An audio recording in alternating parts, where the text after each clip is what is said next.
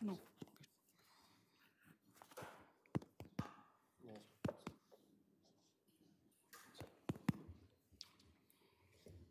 Okay, so let's uh, start the second session. And in this second session, uh, uh, Professor Ranjini Bandyopadhyay from Raman Research Institute will talk about something. I forgot the title. Okay, thank you, Anupam. Thank you, Urna. So uh, I have very little math in my talk, but I do have a lot of chemistry and I have particles escaping out of wells. But uh, first we'll start with farm animals. Okay, so we'll start with this analogy. So you see lots of sheep here. Okay, so they are grazing, they are in every which direction they could point in, and they are not likely to go home by on their own. So you need the sheepdogs, okay, who are going to drive them home. So we have basically created the same scenario in our lab, but scaled down by about six decades in length scale, okay? So we work with colloidal particles, and I'm going to tell you today about some experiments we did with active colloidal particles that were dispersed in a crowded environment of bidisperse but passive uh, colloidal particles. Okay, so the work was done with my students Palak and Riddhika and Sanjay who started the work but who submitted his thesis a month ago. Okay, so you've heard of Janus particles, Janus the Greek god, okay, the, with one face facing the, looking into the, looking at the future, one, uh, one, one face looking into the past, and he's the god of gateways and bridges. Uh, we make particles in the lab that look a lot like Janus. So they have two different, uh, they have chemically modified surfaces. Uh, there are two hemispheres with completely different chemical uh, um, uh, conformations. So we start off with glass, okay, which we clean. And then we put polystyrene particles of about two microns diameter. We put a drop of that on the glass slide and then we spin coat it at very, very high speed. So basically with sp spin coating, the drop of uh, colloids, they spread out into a monolayer, okay? So 1000 RPMs at for 50 seconds to create a monolayer. And then we use a sputtering technique, okay, which is like a metal vapor deposition technique. So here we use platinum to cover the exposed face or faces of the uh, colloidal particles that we have on our monolayers. Okay, so as a result of this, we have one hemisphere of the colloidal particles that are covered with platinum. Okay, and the other, the other face, which is not facing the, the vapor, that's still polystyrene. So this is called a masking technique. Okay, and as a result of this sputtering, we get five nanometer uh, thickness uh, uh, platinum coating, okay, on one sides of the faces of these polystyrene particles. Okay.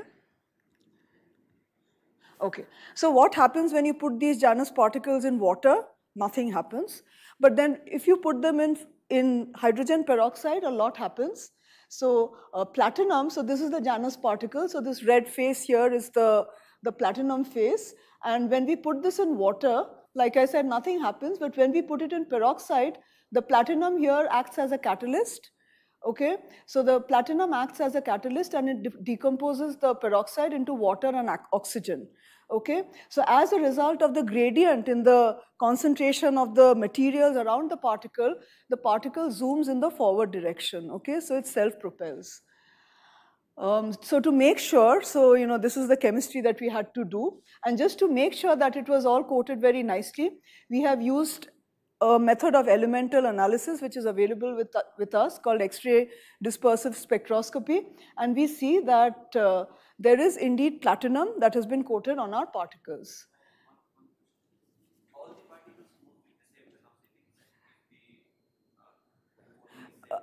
Uh, um, the coating is not the same. So the, because you know, this is a real experiment that we are doing here. But then uh, we do try to take out the particles that don't look so good. So we make the particles, we have to dry the particles. Okay, then we look at them and then, of course, it's a difficult task, but the yield is very, very poor. Okay, so you can actually look at particles. Okay, we can't tell you very much about the thickness except that the average is 5 nanometers. Okay, now the particles which have not been coated, we have to throw them away. And the assumption here is that the average velocity is the same in all cases. I'll show you some videos. Okay, so um, okay, so I mean, okay. So basically one huge problem with these experiments is that uh, the evolution of the oxygen bubbles and considering that we want to look at the motion of these particles under a microscope, it's very difficult to do this for very long lengths of time because of the oxygen evolution, okay? So we had to do an experiment, which we have all probably done in our uh, high school, which is uh, we had to, before we started the experiment, so I'm just telling you about the checks and balances we had to do, we had to measure the amount of oxygen that is produced, okay, when you put the particles in a peroxide solution. So this is for about a 2.5% peroxide uh, solution. So this is mixed in a water D2O uh, mixture, uh, just, you know, for, for uh, density matching and then by downward displacement, it's, it's by downward displacement of water, we see that the oxygen evolution rate, this is the highest around up to five minutes. And then you can see that the oxygen evolution rate goes down. So that is where we decide to conclude our experiments. So all our experiments, they are for very limited times. Okay, so these are the videos that we captured. So each one goes on for two minutes, but I'm not going to show you that. Okay, so the, the video that you see on the left, this, these are Janus particles, but there's no hydrogen peroxide here. There's no fuel. So these particles, they are basically just diffusing around in an H2O, D2O mixture, and we have to make a mixture of uh, H2O and D2O because Janus particles have a density of uh, 1.05, okay? So we don't want them to sediment. Um, so I'll just uh, play this video. So you see, I mean, there is a, some random motion, but there's no directional motion. Okay, it's stopped there. Now, if I do the for the other one, if you look at certain particles, so here we have peroxide in the medium. Okay, if you look at this particle, for instance, I'll play it again. Oops.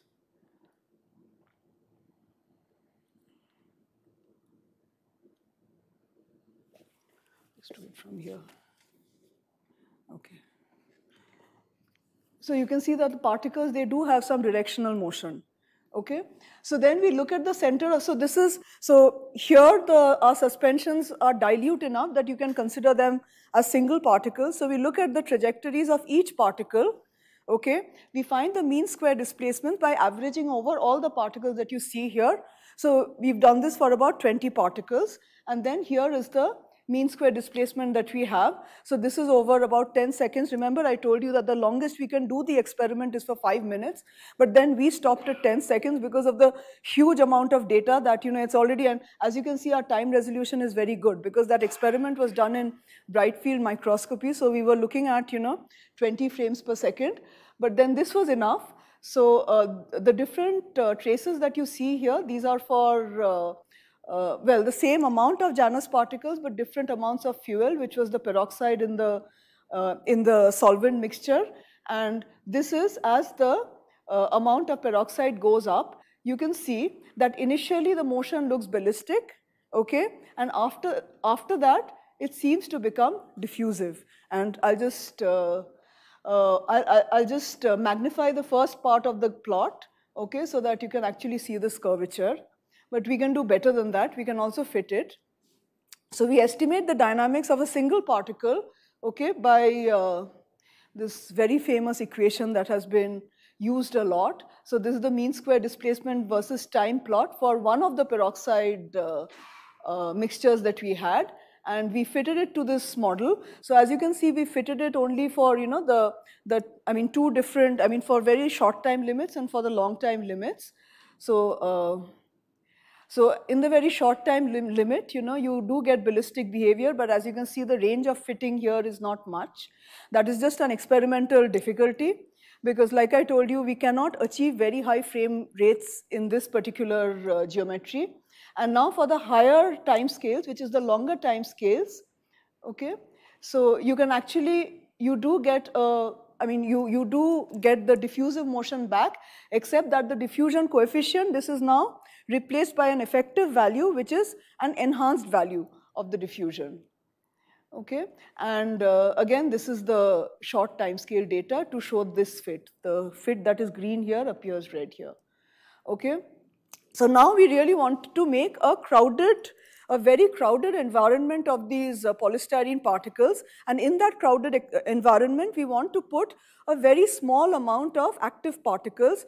So by crowded, I mean, I mean, it's a jammed environment. So you could think of it in terms of a colloidal glass with ultra slow dynamics. But what happens to this glass, this colloidal glass with ultra slow dynamics, if you put a very little amount of activity in the midst? Okay, so uh, so, if, so we have made these dense bidispersed uh, suspensions of polystyrene particles. So these are suspensions in just water and D2O. So there are two, two sizes. So one is 2.07 microns and the other is 3.87 microns. We make mixtures of these, okay? And initially we put them just in water and D2O. Nothing happens, okay? So because these are, these mixtures are made, you know, they are dispersed in water, but at very high concentrations, they just show caged motion, okay? But then we put H2O, okay? And the moment we put H2O, you have this catalytic reaction, okay? Because of the presence of the platinum, the peroxide decomposes into water and uh, oxygen, and you see a cage breaking phenomenon. Now, these are, these have been shown uh, in, in, I mean, so simulations have shown this, but then uh, we tried to recreate the situation in an experiment, okay? So that it doesn't crystallize. Yes. What happens if it ages in sticks? They don't. They have a, uh, no, so, okay, sorry? So the cage in itself, it is no longer moving? Uh, no, they do jiggle around in their cages, but they do not stick because there is a screened electrostatic repulsion. So see, these are polystyrene uh, spheres. So, you know, there are these, they have these, ch these charged uh, debye layers of sodium ions. So they'll not stick together. Okay, so um, before I get to our data and, you know, the way we did our experiments, I'm going to show you about some uh, previous experiments, so uh, previous theoretical work with uh, active particles, but you know, a collection of active particles. So these are some event-driven Brownian dynamics uh, simulations by Ran Ni et al., which came out now seven years ago. So they had these active particles, okay, so they had these particles with, and each particle was acted upon by a, by a force, okay by, by, by a force, which itself, you know, it could, it, uh, yeah. So basically each particle had, and it, I mean, the force could, you know, it, so yeah. So it had a, a self-propulsion force and they, uh, they calculated the trajectories of the particles, they calculated the overlap functions, got the relaxation times out, and they saw that as the self-propulsion forces increased, you can see that the time scales go down. Okay, so there is a fluidization of the suspension and they did this for several different volume fractions and the trajectories basically, so they evolved as a result of drag forces, okay, this force F here and excluded volume interactions. And you can see fluidization. So this is as the force goes up. I'm sorry, you can't quite see the F here. So as the force goes up, you can see that the time scales are going down and the slowing down is also getting delayed. And based on their simulations, they drew this uh, phase diagram.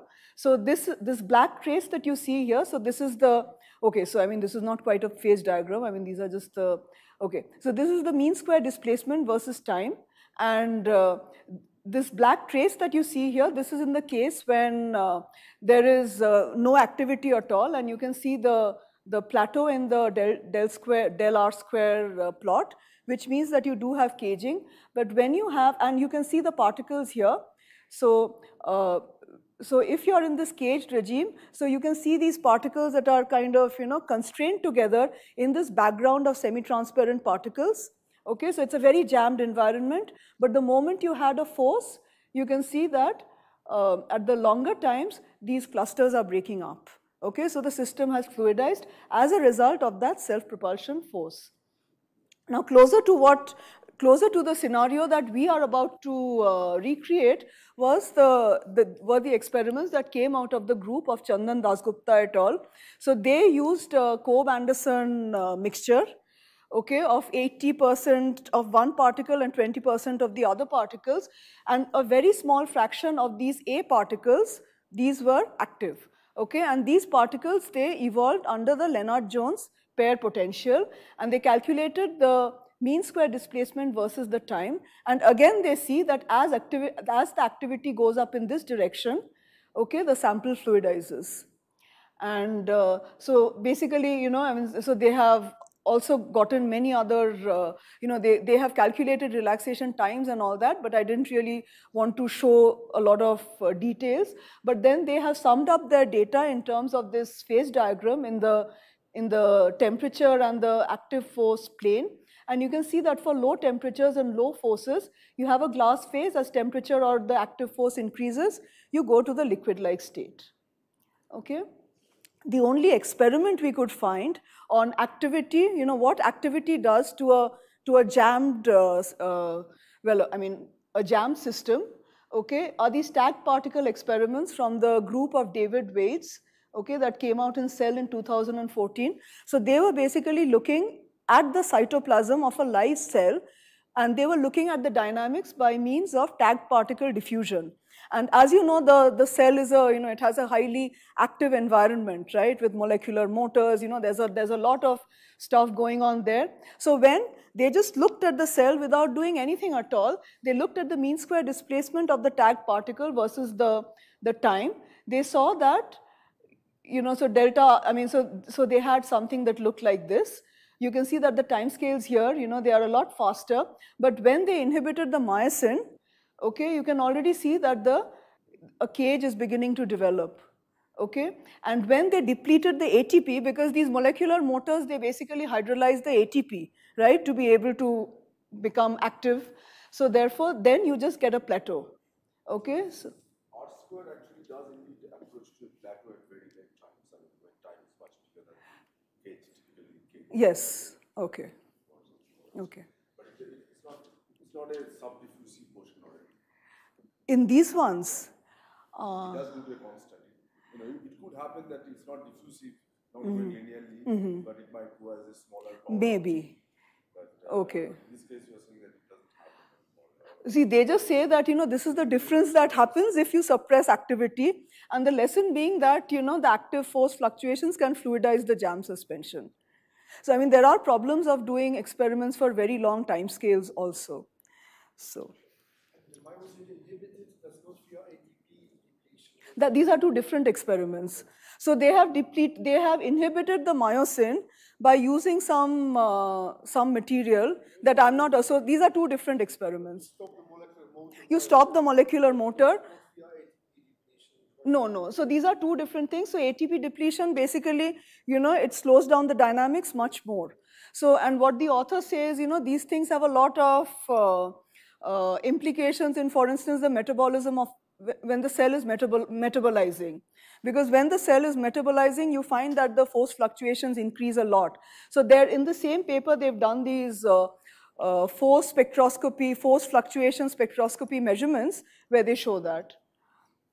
Okay, so we'll come to our experiment now. So how do we make our dense suspensions? So uh, we want to do our experiments in a confocal geometry. So we take two kinds of colloidal particles, but which fluoresce uh, with two different colors. So one, so one of the colloidal particles, these polystyrene particles, which we also, so we take some of these and we coat them into Janus particles to make Janus particles.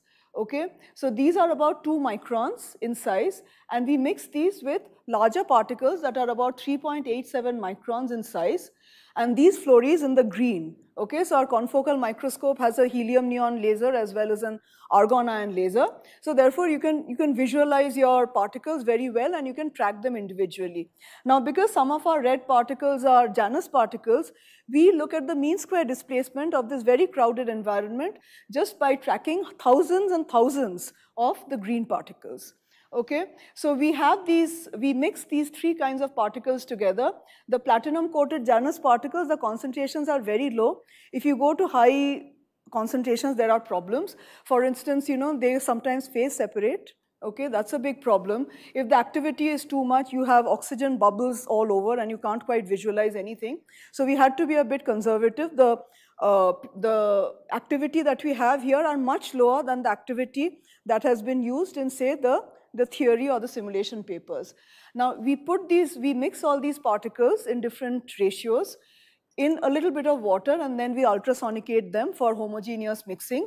So the size ratios of these particles here is 1.87 and we've kept this ratio fixed. It's about 0.76 and then we centrifuge the particles at 8000 RPM for about 20 minutes. Okay, we, we discard the, the water we mix it in water and D2O and we make a very dense suspension, a bidispersed suspension and I will be showing you data where the concentration of the colloids or the volume fraction of the colloidal phase is about 0.58. Okay, so very, very jammed suspension. And we do our experiments in a geometry such as this. So just to give you an idea, so see because there's a, so you need to be able to maintain a constant flow of the hydrogen peroxide. Because, you know, I mean, hydrogen peroxide, uh, you, it, it gets extinguished very fast because of the activity. So then we have this, we make this on a microscope slide, Okay, so uh, we do the experiment here because Janus particles typically if you do these experiments you'll see that the yields are extremely poor. So for all the work that you put in you actually get a few particles. Hmm? So, so this is basically in our little geometry that we have here. This is a 2 centimeter square kind of a cross section. This is the well where we do the experiment. The H2O2 comes in from here. Okay, you have some activity that is generated here. We focus our microscope here and we look at the trajectories and we also have an H2O2 outlet here.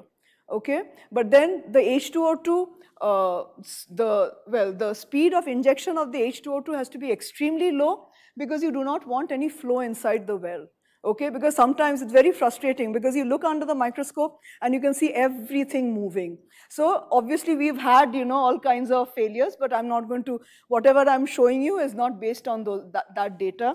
And just to put it in perspective, oops. So this is what it looks like. So these are uh, microfluidic channels. So we have uh, a glass slide and we make the channels out of uh, PDMS. So this is where we do our experiments and this is the well here, little well. I can pass it around later. Okay? Okay. So we use a confocal microscope, yes? The water, the water, yeah. See, you can't really do very much about it, but because we have an outlet, you see the oxygen anyway, the oxygen will go, you know, it'll it doesn't stay in the well. So, I mean, there have been cases of oxygen bubbles getting trapped. We just discard that data. We do have an outlet. Okay? So this outlet that we have here, that's where all the peroxide and the, the, the water that is, you know, the excess water, that will all go out that way. Okay, so we use a confocal microscope just because we want to differentiate the two particles. Like I told you, we took fluorescent spheres Okay, so you can, uh, so with two different emissions and I will show you the pictures in a moment. And then we follow particles over several frames. So the best frame rates that we have here are only about one per second. But we can actually manage with that because you know we have a very jammed environment and we are looking at the very slow dynamics of particles okay? And then, so we look at the center of mass motion of each particle through many, many frames. We average over lots of particles and we get the mean square displacement out, okay? So here are some videos. So this is when, so you see the red and the green, okay? So the green particles are the larger particles, the red particles are the smaller two micron particles, but uh, uh, you know, so the red particles also include a very small fraction of the active particles. And I'm going to play a video so I'm going to, I'm playing the video. I don't know if you can make it out. Is it even playing? No, uh, yeah, it was playing. It's so slow you can't even make it out. Okay, so you see, I mean, maybe if you look, you see that, you know, particles are moving, but they are moving so minutely and so slowly you can hardly see it. Okay. These are particles and they're actually, there are no active particles here. So actually there are active particles there, but there's no peroxide. See, because we wanted to recreate the exactly same uh, samples, yeah. So there are active particles, but there's no activity because there's no peroxide.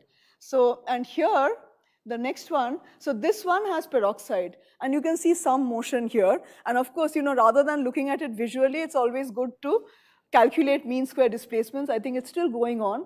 So the problem here is no, it is not. Actually, see, these are all the red particles, but see, the contrast really changes if you put H2O2.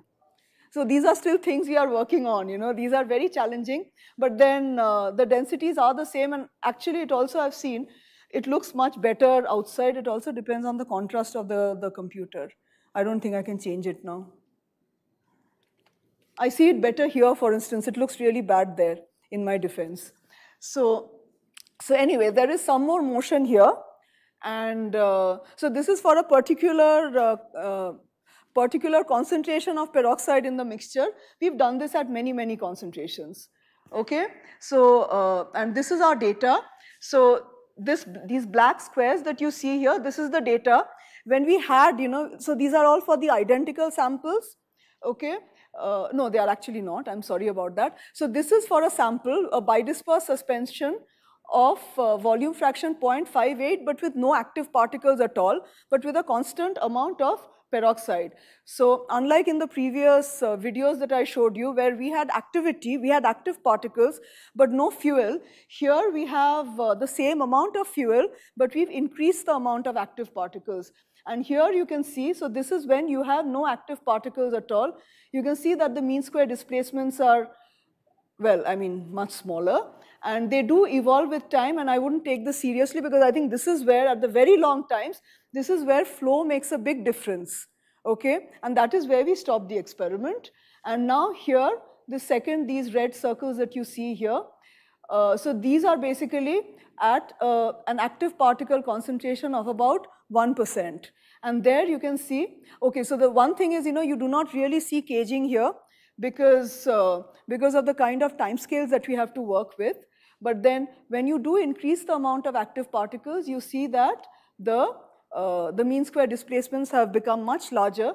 You increase the active particle uh, volume fraction further, the mean square displacement increases even more, okay? So the uh, lesson of this, the message that this gives you is that yes, experimentally you can show that there is something such as active fluidization, okay? So you have a bidispersed jam suspension, just put a few active particles in there and you can fluidize your suspension. I'm at conclusions already, okay? so, uh, so we synthesize Janus particles. So I've given a similar uh, uh, talk earlier, but then now we've learned how to actually increase the yield of the Janus particles. So, I mean, much of the data looks the same, but it's of, I would say, better quality. And we've looked at their MSDs with varying uh, degrees of activity. So the fluidization of suspensions of densely packed bidispersed polystyrene particles was achieved by adding activity. A cage breaking phenomena as predicted in theoretical models was observed. Now, there are many things we can do now. So, we are also trying to make other kinds of active particles. For instance, you can make these, these carbon particles, okay, you can cover particles with carbon and if you just shine a laser on them from one direction, okay, you can actually see activity. And people have used these to look at, for instance, active sedimentation. And the good thing about these particles is you get much better yields. Okay, so these are all there. There are some very interesting things that we can now look at. For instance, the clustering of these Janus particles. For that, we need better yields, which we are trying to get at. Okay, so uh, now, now that we have the, the, the, center of mass trajectories, we can now calculate overlap functions, we can get time scales out, we can calculate fragilities very like, you know, what people have done earlier. And uh, so for, that's for the fragility. We can also look at higher order correlation functions. We can look at dynamical heterogeneities. We can see how the glass is fluidized exactly. Okay, and of course, we'll also change the activity. We'll change the amount of fuel. I mean, there's a lot to be done. Okay, thank you. Thank you, Ranjini.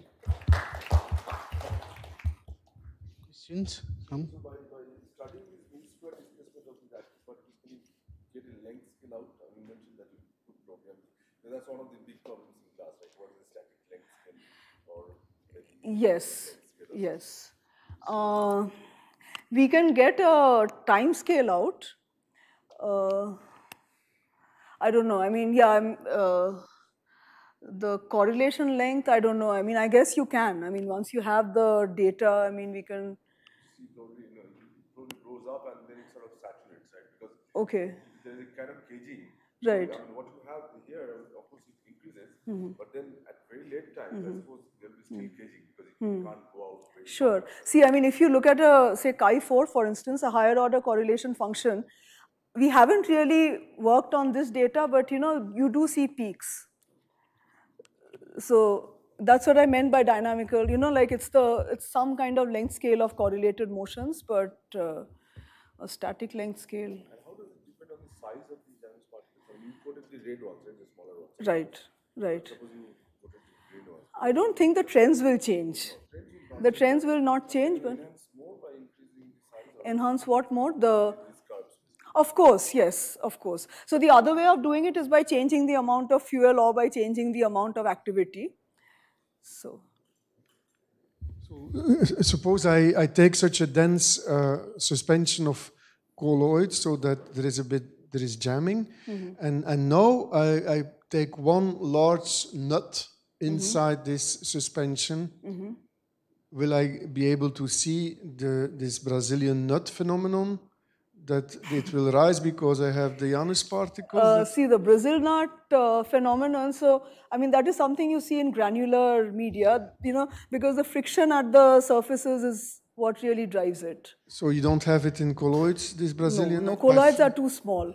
I see. So, the for Brazil nut, you need uh, well But, bigger but you take a big nut in the colloids and you make them fluidize by Janus particles. You do could. not I mean, at least locally, it would fluidize. But it would make me make rise maybe a bigger particle inside. That it would go up. Sure, yeah, but then I, you cannot do it with the colloidal particles. No, but a big one, a ping pong ball in a colloidal suspension, mm-hmm, mm-hmm. it's trapped by the colloids. But I don't think so. See, because I ah, mean, uh, the segregation usually happens by two mechanisms. Okay, so I mean, if you even look at segregation, you know, if you're driving it, for instance, okay, so um, it's usually because of void filling. So because you know, when you're uh, driving something, it expands, right? And therefore, the small particles they'll fall through. Okay, the or I mean, so that is one possibility, which is why the big particle will rise. The other way you can do segre- the other reason why segregation happens is because of convection convective motions. So this is a suspension. So these are all colloids. You know, this is in a medium. So I think the damping is far too much to see anything of the kind. But in general, I would think that in many cases, shaking can Mm-hmm. be replaced by maybe introducing Janus or active particles. Sure, yeah. I mean, this is a- of course a driven system, and I'm sure. I mean, there there are. I mean, you do get phase separations of active particles, you know, at high enough concentrations, if the driving is too large. Is it possible to track the active particles themselves? Uh, I mean, it's much more difficult because, as you see, we've actually done a two-dimensional trap tracking. And the active particles, they move much more than the passive particles. So there's always this danger that they'll go out of plane. I mean, this is confocal, so you can actually track them out of plane, but you know, uh, confocal systems, usually the Z-scan is much slower. And that, that is why we made the smaller particles, that is why we are tracking the bigger particles and we made the smaller particles the active particles because we wanted to track as many of the bigger particles as possible.